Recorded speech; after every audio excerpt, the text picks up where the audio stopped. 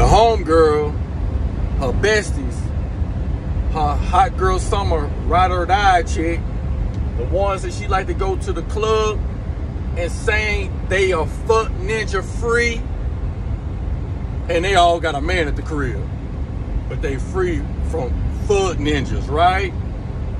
The ones that they grew up with playing patty cake and playing, you know, all these different games with dolls.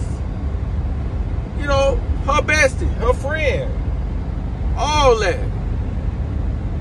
Dog. Them girls or that chick, she mean more to your woman than you would ever mean to her. Now, before we get into that, I know you're offended. Make sure y'all hit the like button or hit the damn dislike button. Subscribe to the channel if you're new and also leave me a comment. Express your thoughts, man. I want to hear them. You know what I'm saying? Or if you agree. Because I'm pretty sure a lot of you guys have been through this stuff before where you just on a casual day or week, you got to go through those casual days and week hearing at least once or twice, maybe three times, probably all week. about her damn besties, her best friends, and what they going through. Bringing all that toxic shit to your relationship, right? And so, these chicks typically have a major bond with your girl. They know more about your woman than you ever will. And what do I mean by that? Well, see, your, the homegirl is the one that keep the dirt from you from even knowing. And you know, it's really no different from when the dudes do the same shit, right?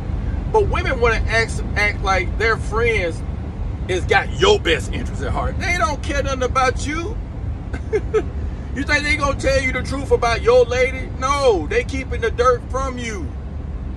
They know everything about your girl, bro.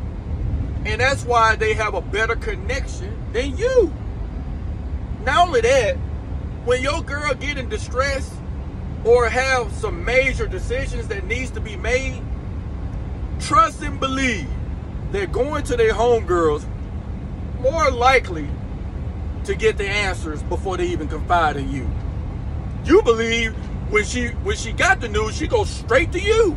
No, no, no, no, no, no. She gotta get a female's perspective before she bring it to you because typically women already know that the, the decisions that they make is really some bullshit. So there's the trust factor right there. She don't trust you like she trusts her homegirls because they have a longer history. Now, for that matter, I ain't even add the fact that they probably was carpet munching with each other, possibly. You know, some of them, you know, they get hurt through the course of their life and shit they go to talking about some doing all these damn pity parties, and then a homegirl be like, "Oh, baby, I'm here for you," and next thing you know, they turned your girl out, and that's why they never could be broken apart. Mariana, Mariana.